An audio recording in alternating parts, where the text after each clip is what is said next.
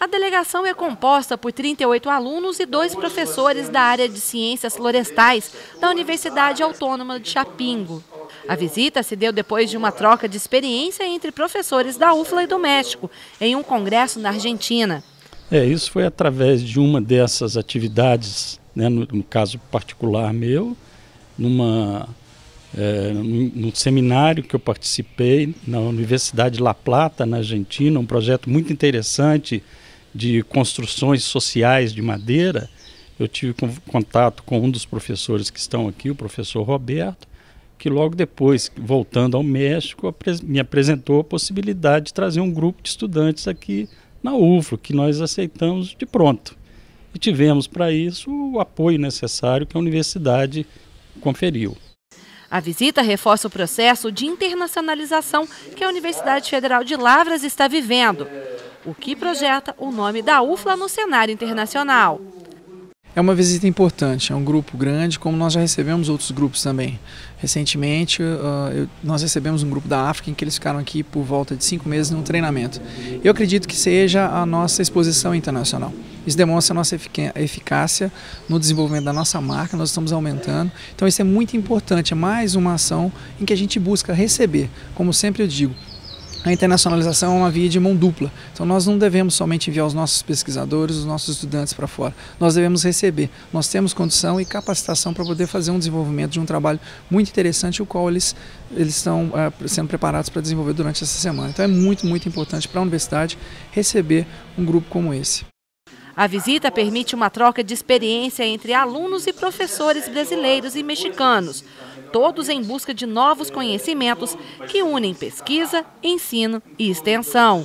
Tripé fundamental que faz com que a universidade se destaque cada vez mais no campo das pesquisas.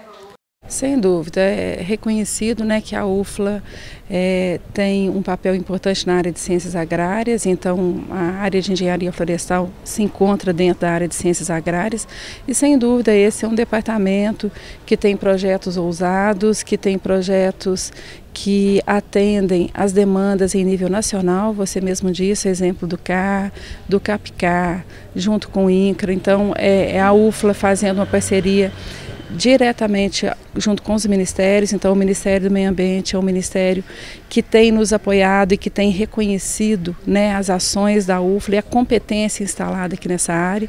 Então, nós temos um departamento com profissionais altamente competentes que tem a capacidade, sim, de desenvolver né, pesquisas de qualidade para atender a uma demanda nacional ou mesmo internacional, que é o que a gente vai ver hoje. E é por esses motivos e também pela troca de experiência que a delegação do México veio para Lavras para conhecer os projetos do Departamento de Ciências Florestais. Com muito gusto. La, nuestra visita a la Universidad de Labras obedece a que la formación de nuestros estudiantes forestales eh, requieren tener una visión más amplia de lo que está pasando en el mundo, en particular en Brasil.